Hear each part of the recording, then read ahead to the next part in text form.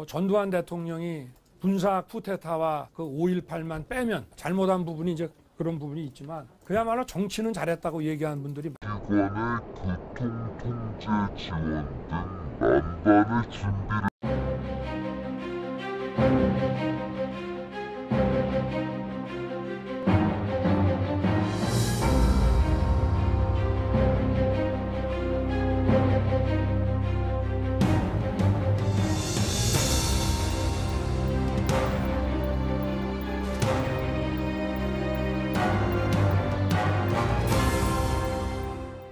달이 선명하게 뜬 야심한 밤 서울의 한가운데를 가로지르는 동작대교 위로 K808 차륜형 장갑차가 등장합니다.